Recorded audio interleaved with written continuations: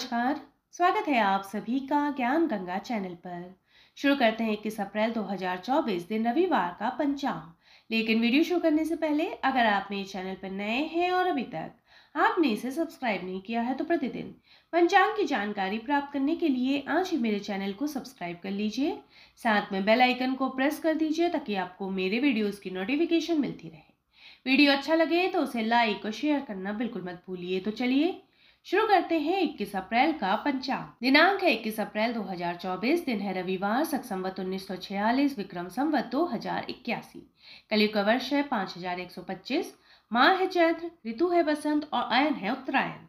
सूर्योदय होगा सुबह पाँच बजकर उनचास मिनट पर और सूर्यास्त होगा शाम के छह बजकर इक्यावन मिनट पर। चंद्रोदय होगा शाम के चार बजकर उनतालीस मिनट पर और चंद्रास्त होगा बाईस अप्रैल की सुबह चार बजकर उनचास मिनट पर। ब्रह्म मुहूर्त का समय रहेगा सुबह चार बजकर इक्कीस मिनट से पाँच बजकर पाँच मिनट तक। प्रातः संध्या का समय रहेगा सुबह चार बजकर तैंतालीस मिनट से पाँच बजकर उनचास मिनट तक। गोधुली मुहूर्त का समय रहेगा शाम के छः बजकर उनचास मिनट से सात बजकर ग्यारह मिनट तक। साय संध्या का समय रहेगा शाम के छः बजकर इक्यावन मिनट से सात बजकर छप्पन मिनट तक। निशिता मुहूर्त का समय रहेगा रात के ग्यारह बजकर अट्ठावन मिनट से बारह बजकर इकतालीस मिनट तक। पक्ष है शुक्ल तिथि है त्रयोदशी, रात के एक बजकर ग्यारह मिनट तक रहेगी, उसके बाद चतुर्दशी तिथि आरंभ हो जाएगी। नक्षत्र है उत्तरा फाल्गुनी, शाम के पाँच बजकर आठ मिनट तक रहेगा, उसके बाद हस्त नक्षत्र आरंभ हो जाएगा।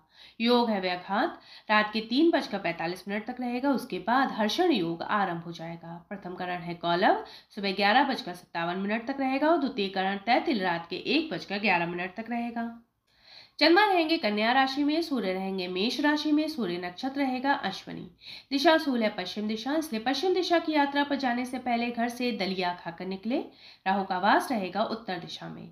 नक्षत्र शूल है, उत्तर में, शाम के पाँच बजकर आठ मिनट तक। शिव का वास रहेगा नंदी पर, रात के एक बजकर ग्यारह मिनट तक उसके बाद भोजन में रहेगा। अग्नि का वास रहेगा पृथ्वी पर। शुभ मुहूर्त इस प्रकार रहेंगे। अभिजीत मुहूर्त का समय रहेगा सुबह ग्यारह बजकर चौवन मिनट से बारह बजकर छियालीस मिनट तक। विजय मुहूर्त का समय रहेगा दोपहर दो बजकर तीस मिनट से तीन बजकर बाईस मिनट तक। अमृतकाल का समय रहेगा सुबह नौ बजकर एक मिनट से दस बजकर उनचास मिनट तक।